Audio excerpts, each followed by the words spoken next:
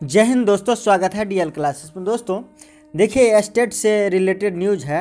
News में ये कह रहा है कि इकहत्तर सौ आठ पदों के लिए रिज़ल्ट मई में आएगा। तो अभी तो एग्ज़ाम भी नहीं हुआ है और रिज़ल्ट के बारे में ये पहले ही प्रकाशित कर दिया गया है। देखिए टोटल बात क्या है बहाली के बारे में? स्टेट की बहाली के बारे में क्या है? सैंतीस हज़ार तीन सौ पैंतीस पद थे। रिक्त चौबीस हज़ार हुए उत्तीर्ण। देखिए और सैंतीस हज़ार तीन सौ पैंतीस पद के लिए बहाली लिया गया था। लेकिन अभी चौबीस हज़ार ही उत्तीर्ण किया गया है।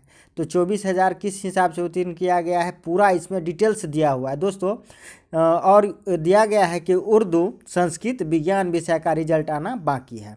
देखिए दोस्तों, चैनल को सब्सक्राइब कर लीजिएगा और देखिए अफवाहों से बचें और इसमें पूरा एक एक बारीकी से समझाया गया हुआ है। और आप लोग समझे, पूरा वीडियो देखना देखने के बाद ही आपको पता चलेगा जो टोटल न्यूज़ क्या है। कितने लोग ये अफवाह फैलाते हैं कि ज़्यादा रिज़ल्ट दे दिया है एस एस टी में साइंस में कम दिया है। लेकिन इसमें देखिए क्या लिखा हुआ है। देखिए, यहाँ से न्यूज़ है। माध्यमिक शिक्षक पात्रता परीक्षा माने एस टी ई टी दो हज़ार उन्नीस के तहत सैंतीस हज़ार तीन सौ पैंतीस पदों पर बहाली होनी थी। नौवीं, दसवीं माध्यमिक के लिए पच्चीस हज़ार दो सौ सत्तर और ग्यारह बारह उच्च माध्यमिक के लिए बारह हज़ार पैंसठ पद थे, ठीक है?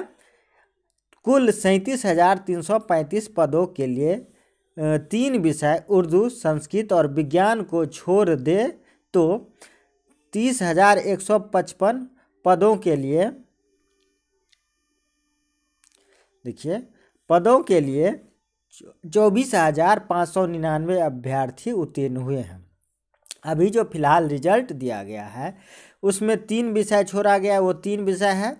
यहाँ दिया हुआ है, देखिए दोस्तों, दिया हुआ है कौन कौन सा विषय छूटा हुआ है?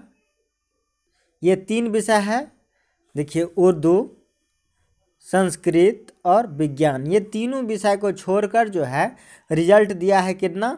चौबीस हज़ार पाँच सौ निन्यानवे अभ्यर्थी को पास किया गया है। देखिए उर्दू संस्कृत विज्ञान को मिलाकर इकहत्तर सौ आठ पदों का रिज़ल्ट आना बाकी है ठीक है?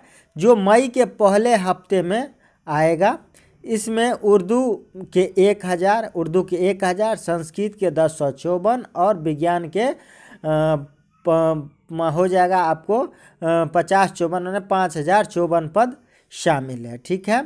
और देखिए, और कहा गया है कि बिहार बोर्ड की माने तो 28 जनवरी 2020 की ऑनलाइन परीक्षा में 106 विद्यार्थी को परीक्षा से अलग कर दिया गया था। पता ही था, हंगामा हो गया था और बताया जा रहा है कि गया था। अब कोर्ट के आदेश पर इन 106 अभ्यर्थियों की परीक्षा को 2 अप्रैल को ऑनलाइन ली जाएगी। 2 अप्रैल को ऑनलाइन ली जाएगी स्टेट की परीक्षा। इसके बाद इन तीनों विषय का रिज़ल्ट मई के पहले सप्ताह जारी कर दिया जाएगा। ये मई के पहले सप्ताह में ये तीनों विषय का रिज़ल्ट आना है। अब कह रहा है कि कोटि और अंक के अनुरूप ही मेरिट बनी थी। देखिए, कोटि और अनु, अंक के अनुरूप जितना कोटि है और जितना अंक है, उसी के अनुसार मेरिट बनाई गई थी।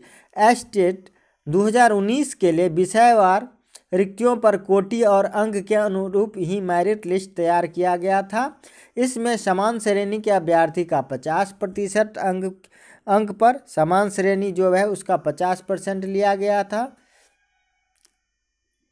और अनुसूचित जाति, अनु, जनजाति अत्यंत पिछड़ा वर्ग पिछड़ा वर्ग और दिव्यांग के लिए पैंतालीस प्रतिशत अंक लाना ज़रूरी था। ठीक है, ये टोटल न्यूज़ है दोस्तों। तो इसका जो है पूरा समझा दिया गया जो कैसे क्या जितना सीट था उतना ही रिज़ल्ट आया हुआ है।